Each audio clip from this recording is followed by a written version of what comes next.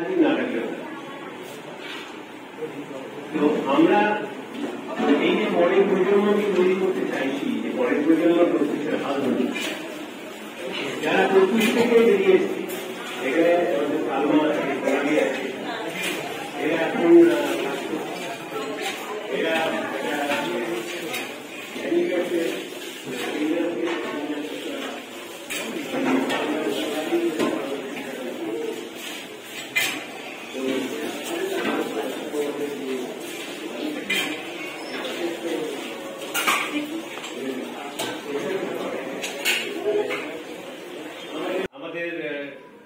দায়িত্বে আছে কিন্তু সে অত্যন্ত গরিব ঘরে নেই তাকে প্রতিনিয়ত তার সংসারের খরচ চলার জন্য তাকে চেষ্টা হয়।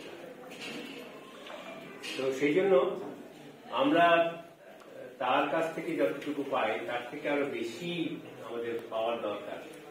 আমরা সেটা করে উঠতে পারিনি। অর্থাৎ সেরকম ভাবে কোনো মহিলাকে এই কাজে যুক্ত করতে পারিনি যে মায়েদের এই সুখ দুঃখের সাথী হয়ে তাদের এগিয়ে নিয়ে যাওয়ার জন্য চেষ্টা আমাদের এখানে কয়েকজন মা আছে যাদের স্বামী নেই। স্বামী নেই মানে স্বামী অন্য জায়গায় অন্য একজন মহিলাকে নিয়ে চলে গেছে। এটা আছে। আমাদের দুটো তিনটে পরিবার আছে যাদের মা বাবাই নেই। মানে মা একদিকে চলে গেছে, বাবা একদিকে চলে গেছে, তার ঠাকুমা বা তার দিদিমা। সম্পাদক আহ, অতুলন্ত নারায়ণ চৌধুরী। এই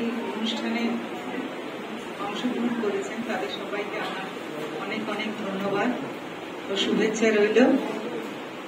সর্বপ্রথমে এই প্রত্যুষের কর্ণধার আমার দাদা ডক্টর অনিরুদ্ধ চক্রবর্তীকে আমি অনেক অনেক ধন্যবাদ শ্রদ্ধা ও ভালোবাসা দিচ্ছি এখন।